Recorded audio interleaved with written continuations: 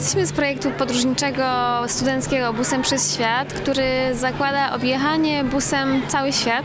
Na razie udało nam się przez te ostatnie 6 lat zwiedzić 5 kontynentów, 52 państwa.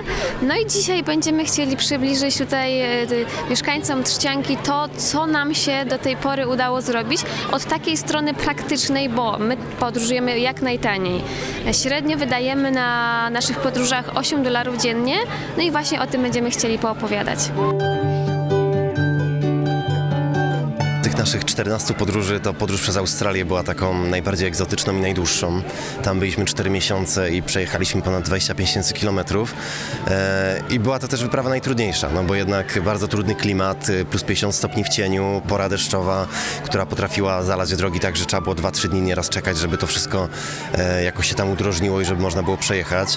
E, zupełnie inna fauna i flora, bardzo dużo zwierząt, które nie występują nigdzie indziej i które są niebezpieczne, no bo jadowite węże, jakieś pająki, krokodyle pięciometrowe, rekiny, no bardzo dużo tego było. E, I tam też mieliśmy parę takich przygód, które bardzo długo będziemy pamiętać, no bo po pierwsze odpadło nam koło na środku pustyni, w takim miejscu, gdzie nie było zasięgu, gdzie nie było żadnej cywilizacji, żadnych ludzi i mieliśmy dosyć duży problem, bo były ograniczone zapasy wody i nie było jak wezwać lawety nawet i, i jakoś tam w końcu sobie poradziliśmy. Ja tych podróżników znam, bo żyjemy w świecie powiedzmy internetu, czyli ich obserwowałem. Pierwsza ich podróż w 2009 roku o mały włos, żeśmy się gdzieś tam e, rozjechali. Natomiast zawsze moim takim marzeniem było właśnie ich e, sprowadzić tutaj do Trzcianki, do nas, e, żeby nam opowiedzieli. Są to topowi podróżnicy, dużo nagród, blogi prowadzą, więc myślę, że po takim spotkaniu dużo, dużo tutaj osób być może zacznie podróżować.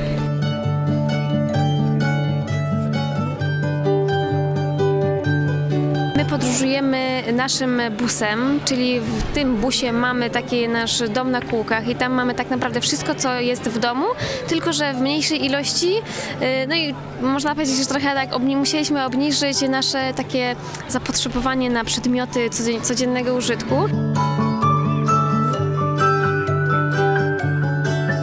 Australii też trafiliśmy na Polaka, który mieszka w buszu razem z aborygenami, z pierwotną ludnością w takiej aborygeńskiej wiosce i mieliśmy okazję zobaczyć, jak to wszystko wygląda, pomieszkać tam razem z nimi. W Australii też trafiliśmy do ludzi, którzy e, mieszkają pod ziemią i mają sierociniec dla kangurów u siebie w domu. To też takie niesamowite przeżycie, żeby zobaczyć, jak coś takiego wygląda, e, gdzie mieliśmy okazję tam być bliżej zwierząt niż jakikolwiek Australijczyk tak naprawdę przez większość swojego życia czy w jakimkolwiek zoo.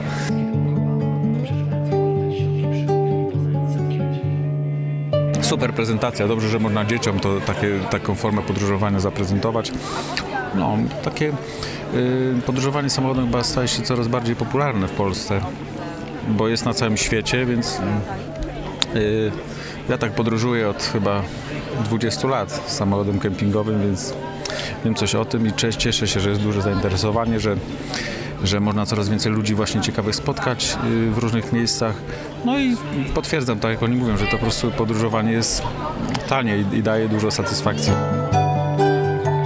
Czy jeżeli ktoś chce zacząć podróżować, czy to czy, no my w tej chwili mamy ten luksus, że podróżujemy kamperami.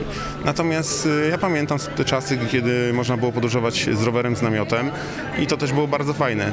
To trzeba się po prostu rozwijać i nie, nie wolno się bać bynajmniej tego. Nie ma żadnych tam zagrożeń, niech nikt nie straszy, że gdziekolwiek pojedziemy, to coś się nam złego przytrafi. Po prostu normalne życie, które może nas spotkać tu, może nas spotkać oczywiście w podróży. Dobre i złe rzeczy, ale nie ma się co bać. Przez te 50 parę państw dwa razy się zdarzyło tak, że musieliśmy gdzieś jechać do lekarza. Raz to był problem z zębem, raz e, z kamieniami nerkowymi, ale zawsze było tak, że po 10 minutach byliśmy w szpitalu i mieliśmy ubezpieczenie. To jest bardzo istotne, żeby też ubezpieczenie, które kosztuje nawet tylko kilkadziesiąt złotych na taką podróż, wykupić sobie, no bo potem taka interwencja w szpitalu nas nie kosztowała nic, a bez ubezpieczenia mogłaby kosztować parę tysięcy złotych nawet. Także to też Fajnie jest pojechać spontanicznie i na taką szaloną wyprawę, ale jednak o takich rzeczach jak na przykład ubezpieczenie trzeba pomyśleć. No Ja uważam, że jest, to jest świetny sposób na spędzenie y, wolnego czasu. Oczywiście doświadczenia jak najbardziej y, zdobyte w ten sposób się przydadzą. Myślę, że uderzyliśmy w dobry, w, dobry, w dobry przedział wiekowy, bo jednak się młodzież pojawiła. Tak naprawdę to było dla nich. E, Oni muszą się dowiedzieć, że jednak podróżowanie nie jest trudne, nie jest tanie, znaczy, przepraszam bardzo, jest tanie e, i żeby łatwo na to znaleźć jakieś tam środki, żeby się dobrze bawić, dobrze podróżować.